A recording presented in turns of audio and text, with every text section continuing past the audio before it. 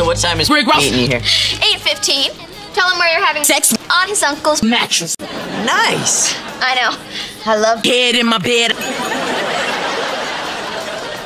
Uh oh. Here comes a sweaty. Lesbian. Hey, look here. You got the whole I Cheetos. gang. Two girls in one cup. And they're- lazy stripper. She called me. Lazy stripper.